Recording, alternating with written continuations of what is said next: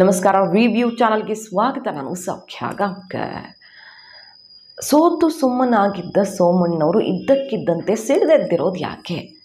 ಸೋಮಣ್ಣವರ ಹಿಂದೆ ಯಾವುದಾದ್ರೂ ಬಲ ಕೆಲಸ ಮಾಡ್ತಾ ಇದೆಯಾ ಸೋಮಣ್ಣವ್ರು ಇಷ್ಟರ ಮಟ್ಟಿಗೆ ಮಾತಾಡ್ತಿರೋದ್ರ ಹಿಂದೆ ಇನ್ಯಾರಾದರೂ ಇದ್ದಾರಾ ಅನ್ನೋದೆಲ್ಲ ಚರ್ಚೆ ಹೊಸದಾಗಿ ಶುರುವಾಗಿದೆ.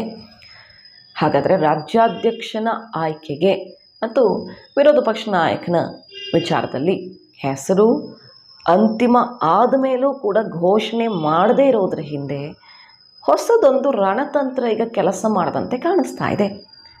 ಈ ಸ್ಟ್ರಾಟಜಿ ಏನಾದರೂ ಈ ಅಂತಿಮ ಆಗಿದೆ ಅಂತ ಹೇಳಲಾಗ್ತಿರುವ ಹೆಸರನ್ನು, ಹೆಸರುಗಳನ್ನು ಬದಲಾಯಿಸಬಹುದಾ?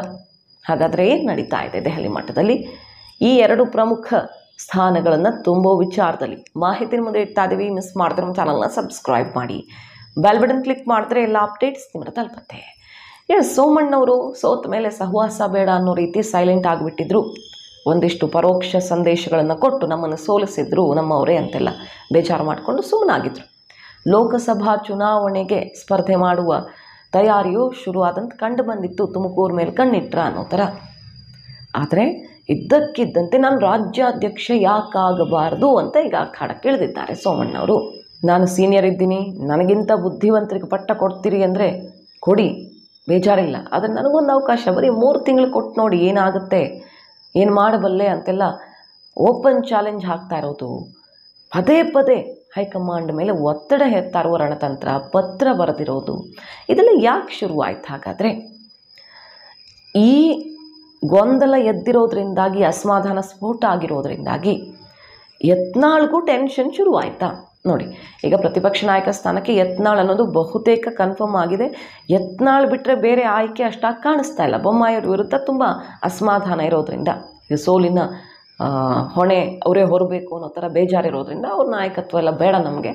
ಬೊಮ್ಮಾಯಿಯವರು ಮುಖ್ಯಮಂತ್ರಿಯಾಗಿ ಎಲ್ಲ ಅವಕಾಶ ಪಡ್ಕೊಂಡಿದ್ದಾರೆ. ಯತ್ನಾಳ್ ಅವ್ರಿಗೊಂದು ಚಾನ್ಸ್ ಕೊಡಿ ಅಂತ ದೊಡ್ಡ ಮಟ್ಟದಲ್ಲಿ ಅವ್ರ ಪರವಾಗಿ ಧ್ವನಿ ಇದೆ, ಅವ್ರ ಪರವಾಗಿ ಒಲವೂ ಇದೆ ಹೈಕಮಾಂಡ್ದು. ಸೊ ಪ್ರತಿಪಕ್ಷ ನಾಯಕನ ಸ್ಥಾನಕ್ಕೆ ಪಂಚಮಸಾಲಿ ಸಮುದಾಯದ ಯತ್ನಾಳ್ ಹೆಸರು ಬಹುತೇಕ ಅಂತಿಮ ಆಗಿರೋದೇ.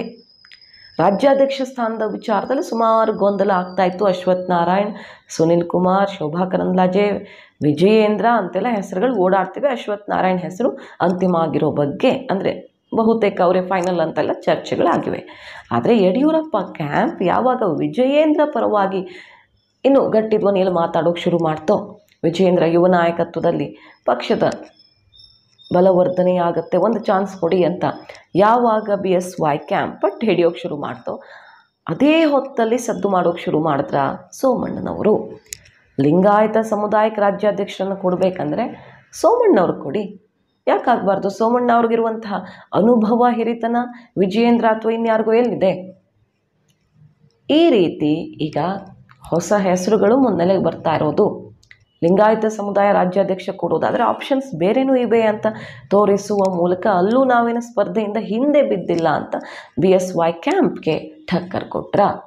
ಈ ಥರ ಆದರೆ ಪ್ರತಿಪಕ್ಷ ನಾಯಕ ಸ್ಥಾನಕ್ಕೆ ಒಕ್ಕಲಿಗ ಸಮುದಾಯ ಕನ್ಸಿಡರ್ ಮಾಡಬೇಕಾಗತ್ತೆ.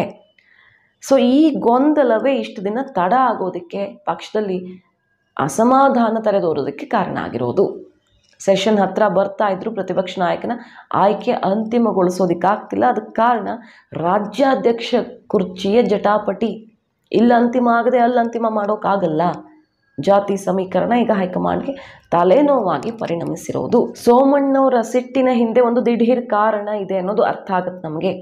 ವಿಜೇಂದ್ರ ಪರವಾಗಿ ಗಟ್ಟಿ ಧ್ವನಿಯಲ್ಲಿ ಮಾತು ಶುರುವಾಗ್ತಿದ್ದ ಹಾಗೆ ಈ ರೀತಿ ಆಯ್ಕೆ ಯಾಕಾಗಬಾರ್ದು ಅಂತ ಪ್ರಸ್ತಾಪ ಮುಂಚೂಣಿ ಬಂದಿರೋದು. ಹಾಗೆ ಸಂತೋಷ ಅವ್ರ ಮೇಲೆ ಸಿಟ್ಟು ಮಾಡ್ಕೊಂಡಂಗೆ ಕಾಣಿಸ್ತಾ ಇದೆ ಒಂದು ಹಂತಕ್ಕೆ ಹೊರನೋಟಕ್ಕೆ ಸೋಮಣ್ಣವರು. ಯಾಕಂದರೆ ಯತ್ನಾಳವ್ರಿಗೆ ಪಟ್ಟ ಕೊಡ್ತೀರಿ, ನಮ್ಮನ್ನು ಬಳಸ್ಕೊಂಡು ಬಿಸಾಡ್ತೀರಾ ಅನ್ನೋ ಮಟ್ಟಿಗೆ ಅವರು ಬೇಸರ ಮಾಡಿಕೊಡ್ತಿದ್ದಾರೆ ಎರಡೆರಡು ಕಡೆ ಕೊಟ್ರಿ, ಬಡಿದಾಡಿದ್ದೀನಿ ನಾನು ಸುಮ್ಮನೆ ಸೋತಿಲ್ಲ. ಕಟ್ ಹಾಕಿದ್ದೀನಿ ನನಗೆ ಕೊಟ್ಟ ಟಾಸ್ಕನ್ನು ನಿಭಾಯಿಸಿದ್ದೀನಿ.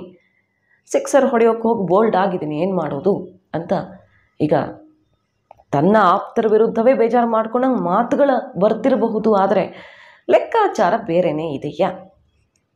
ಸೊ ಈಗ ಸದ್ಯ ಬಿ ಜೆ ಪಿಯಲ್ಲಿ ನಾಯಕತ್ವದ ವಿಚಾರದಲ್ಲಿ ಶುರುವಾಗಿರುವ ಈ ಜಟಾಪಟಿ ಯಾವತ್ತು ಕೊನೆಗೊಳ್ಳುತ್ತೆ ಅನ್ನೋದು ಕಾರ್ಯಕರ್ತರ ಆಕ್ರೋಶವಾಗಿದೆ. ಆಡಳಿತ ಪಕ್ಷದ ವಿರುದ್ಧ ಇಂಥವರೇ ಮಾತಾಡಲಿ ಅನ್ನುವ ಜವಾಬ್ದಾರಿ ವಹಿಸದೇ ಹೋದರೆ ಈ ಗೊಂದಲ ಮುಂದುವರಿತಾ ಹೋದರೆ ಮತ್ತಷ್ಟು ಸಮುದಾಯಗಳ ನಡುವಿನ ಜಾತಿ ಜಾತಿ ಅಸಮಾಧಾನನೂ ಮುಂದುವರಿತಾ ಹೋಗುತ್ತೆ. ಗೊಂದಲಗಳಿಗೆ ದಾರಿ ಮಾಡಿಕೊಡಬೇಡಿ.